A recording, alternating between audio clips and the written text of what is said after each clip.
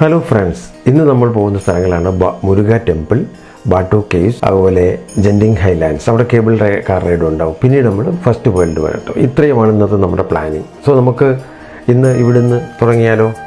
Okay നമുക്ക് ഇവിടുന്ന് ഇന്ന് ഞങ്ങൾ ഹോട്ടലിൽ നിന്ന് ഇറങ്ങി അങ്ങനെ ഞങ്ങൾ ബാട്ടു കേവ്സിൽ എത്തിയിരിക്കുകയാണ്.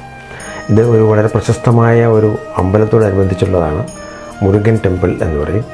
നിങ്ങൾ ഈ കാണുന്ന സ്റ്റാച്യു ഉണ്ടല്ലോ മുരുകന്റെ സ്റ്റാച്യു അത് ഏതാണ്ട് ഒരുപാട് വർഷം പഴക്കമുള്ളതാണെന്ന് പറയാം അതുപോലെ സെക്കൻഡ് ലാർജസ്റ്റ് സ്റ്റാച്യു ആണെന്നാണ് അവർ അവകാശപ്പെടുന്നത്. അവിടുന്ന് നേരെ എന്റെ മേളിലാ കാണുന്നതാണ് ബാട്ടുവ ടെമ്പിൾ ബാട്ടു ടെമ്പിൾ എന്ന് പറയും. ഇതിന്റെ താഴെ തന്നെ ഈ മുരുകന്റെ ഒരു അമ്പലമുണ്ട്. അവിടെ പൂജകളും കാര്യങ്ങളും ഒക്കെ ഉണ്ട്. ഒത്തിരി എന്താ പറയുക മനോഹരമാണ്. അങ്ങനെ നമുക്ക് എന്തായാലും ആ കേവ്സ് വരെ ഒന്ന് പോയി നോക്കാം. അങ്ങനെ നമുക്ക് ഈ സ്റ്റെപ്പുകൾ കയറി. ഏതാണ്ട് ഒരുപാട് സ്റ്റെപ്പുകളുണ്ട്. ടു ഹൺഡ്രഡോ ടു ഹൺഡ്രഡ് ഫിഫ്റ്റി ഉണ്ട് അവിടെ ചെന്ന് കഴിയുമ്പോൾ കാണുന്ന ദൃശ്യങ്ങളാണിത്. അത് ബാട്ടോ കേസ്. ഇത് ഏതാണ്ട് ഫോർ ഹൺഡ്രഡ് മില്യൺ ഇയേഴ്സ് മുമ്പുള്ള ഈ ലൈം സ്റ്റോണിൽ ഉണ്ടായിരുന്ന ഒരു കേവ്സ് ആണ്. ആയിരത്തി എണ്ണൂറ്റി തൊണ്ണൂറ്റി ഒന്നിലാണ്. അതൊരു അമേരിക്കൻ നാച്ചുറലിസ്റ്റാണ് കണ്ടുപിടിച്ച് അത് അവിടെ പണിതെന്നാണ് പറയുന്നത്. ഈ ലൈം സ്റ്റോണിൽ ഉണ്ടായിരുന്ന ഒരു ദൈവമാണ്. എന്തായാലും അതൊക്കെ കണ്ട് നമ്മൾ ഞാൻ താഴോട്ട് വരികയാണ്. വളരെ രസകരമായ ഒരു അല്ലെങ്കിൽ എന്താ പറയുക ഒരു ടൂറിസ്റ്റ് എന്ന നിലയിൽ അല്ലെങ്കിൽ നമുക്ക് ആസ്വദിക്കാൻ പറ്റുന്ന എല്ലാ സൗ കാര്യങ്ങളും അവിടെയുണ്ട്. കണ്ടില്ലേ? എന്നാൽ ഇഷ്ടംപോലെ പ്രാവുകൾ അവിടെയുണ്ട്. ഈ പ്രാവിനൊക്കെ തീറ്റ കൊടുക്കുന്ന ആൾക്കാർ ഇങ്ങനെ അതൊരു എന്തോ നേർച്ച പോലെ ആയിരിക്കും തോന്നുന്നു. അവിടുന്ന് വാങ്ങി പ്രാവിനൊക്കെ തീറ്റ കൊടുക്കും. ഇതിന്റെ തൊട്ട് അങ്ങപ്പുറത്ത് കാണുന്ന ഒരു കുളമാണ്. വലിയ ഒരു കുളം. അതിൽ ഇഷ്ടം ധാരാളം മത്സ്യങ്ങളുണ്ട്. നിങ്ങൾ കണ്ടില്ല? എത്ര ഭയങ്കര വലിപ്പ വലിപ്പമുള്ള മത്സ്യങ്ങളാണ്. നമുക്ക് മേളിനൊക്കെ നോക്കി തോന്നുന്നില്ല. എന്തായാലും ഞങ്ങൾ ഒരു ബോട്ടിൽ വെള്ളമൊക്കെ അവിടുന്ന് അവിടെ ഒരു തമിഴിന്റെ കടയാണ്. അതൊരു ചെറിയ തട്ടുകട പോലെയാണ്. ലീന അവിടുന്ന് ഒരു വെള്ളമൊക്കെ വാങ്ങിച്ചു. ഇവിടെ പിന്നെ ഇഷ്ടംപോലെ കുരങ്ങന്മാരല്ലേ കേട്ടോ അവന്മാരുടെ ഓരോ വികൃതികൾ ഭയങ്കര വിചിത്രമാണ്. കണ്ടിരുന്ന അവൻ നേരം പോകുന്ന അറിയില്ല. ഇപ്പം നമ്മൾ കാണുന്നതിന് ഹനുമാന്റെ ഒരു വലിയ സ്റ്റാച്ചു ആണ്. അവിടുന്ന് ഞങ്ങൾ നേരെ ഈ പറഞ്ഞ പോലെ കേബിൾ കാർ റൈഡിൽ നിന്ന് പോയി ജെൻഡിങ് ഹൈലാൻഡ്സിലേക്ക് നിങ്ങൾ കാണുന്നതാണ് കേബിൾ കാർ അവിടെ നമ്മൾ എന്താ പറയുക കയറി ഞങ്ങളതിൽ റൈഡ് തുടങ്ങി.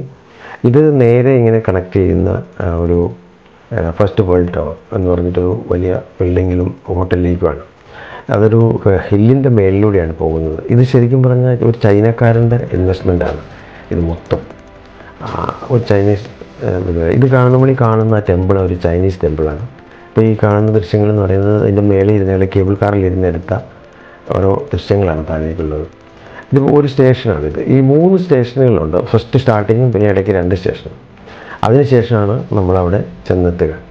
ഈ സ്റ്റേഷനിൽ നിന്ന് ഇറങ്ങുന്ന കണ്ടില്ലേ? ഇത് നമ്മൾ അവിടെ നിന്ന് കയറി ഇറങ്ങി വീണ്ടും മുന്നോട്ടുള്ള യാത്ര തുടരുകയാണ്. അത് ഏറെ കൂടെയാണ് ഈ കേബിൾ കൂടിയാണ് ഇങ്ങനെ പോകുന്നത്. ഒരു പ്രത്യേക അനുഭൂതിയാണ് കേട്ടോ അതിൽ യാത്ര ചെയ്യാനുള്ളത്. എന്തായാലും അങ്ങനെ ഞങ്ങൾ ഏറ്റവും ടോപ്പിൽ എത്തി. അവിടെ നമുക്ക് എന്താ പറയുക അവിടെ ചൈനക്കാരൊക്കെയാണ് മുഴുവൻ. അവരങ്ങനെ നമ്മളെ വെൽക്കം ചെയ്ത് ഇറക്കി.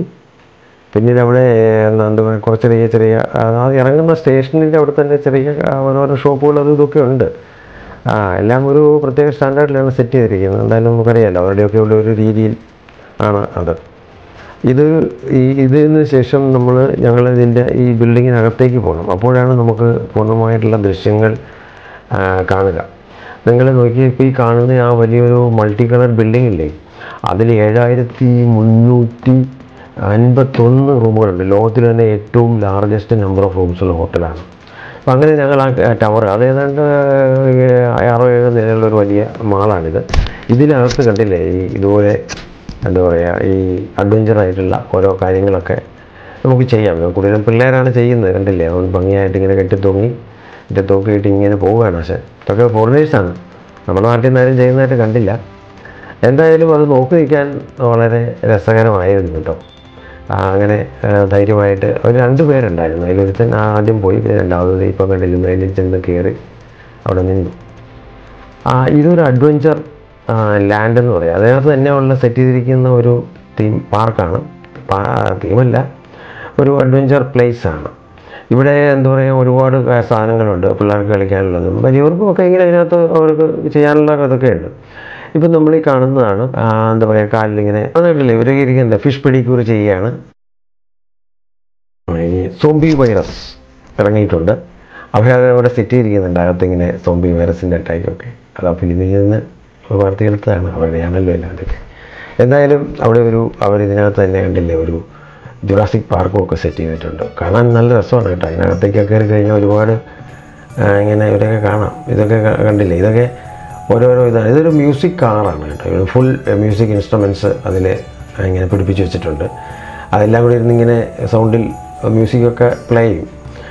ഞങ്ങൾ അതിന് ശേഷം എന്തായാലും ഭക്ഷണം കഴിക്കാം. മലേഷ്യൻ ഫുഡ് സ്ട്രീറ്റാണിന്ന് അവിടെ കയറി മലേഷ്യൻ ഫുഡ് ഇതിനെ കഴിക്കാമെന്ന് കരുതി ഞങ്ങളവിടെ പോയി. ഇതൊരു വലിയ എന്താ പറയുക ഒരു ഫുഡ് കോർട്ടാണ് ധാരാളം പലതരത്തിലുള്ള ഫുഡുകൾ ഇവിടെ അവൈലബിൾ ആണ് റെസ്റ്റോറന്റിൽ നമുക്ക് റിങ്ങറ്റ് കൊടുക്കാൻ പറ്റില്ല. അപ്പോൾ അവർ അത് നമ്മൾ കാർഡ് കൊടുക്കും. അപ്പോൾ ഇന്റർനാഷണൽ കാർഡ് കൊടുത്താൽ ഭയങ്കര ഹെവി ചാർജ് അതുകൊണ്ട് നമ്മൾ അവിടെ നിന്ന് തന്നെ കാർഡ് എടുക്കാനുള്ള ഒരു മെഷീൻ ഉണ്ട്. നമ്മൾ റിങ്ങറ്റ് ഇട്ട് കൊടുത്താൽ അത് ഇപ്പം ചെയ്യുന്ന പ്രോസസ്സിലാണ് നമ്മൾ റിങ്ങറ്റ് കൊടുത്തു കഴിഞ്ഞാൽ നമുക്കൊരു കാർഡ് കിട്ടും. ഈ കാർഡ് കൊടുത്ത് നമുക്ക് റെസ്റ്റോറന്റിൽ നിന്ന് ഫുഡ് പർച്ചേസ് ചെയ്യാം. അതാണ് അവിടുത്തെ രീതി.